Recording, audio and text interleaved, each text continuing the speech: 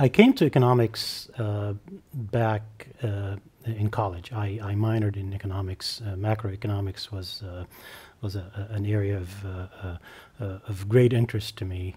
but I didn't use it as I after I left college. I, I went right into the real estate business. I was busy with that for about 22 years or so, and then at about 2004. Um, uh, I met uh, Dr. Don Beck for the first time.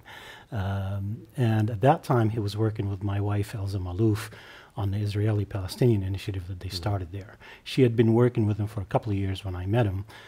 And uh, I have to tell you, the first time I heard him speak, I think he was talking about uh, the, uh, the tribal Arab mind.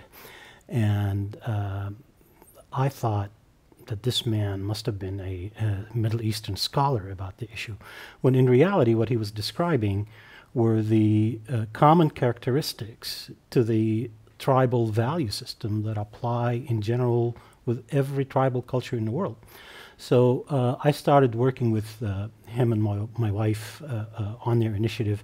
And then uh, at the height of the financial crisis in 2008, uh, during one of the training seminars, uh, Dr. Beck asked me to speak about the causes of the financial crises, and so it was at that point that the, my two worlds came together. It was it was uh, uh my knowledge of macroeconomics combined with my passion to provide the world an evolutionary framework for them to understand uh, how economics affect uh, humanity in general.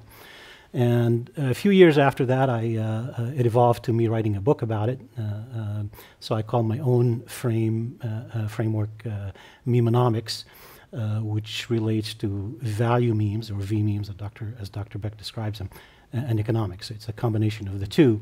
And it has given me a, a platform to be able to articulate the evolutionary nature of economics and how it relates to human emergence.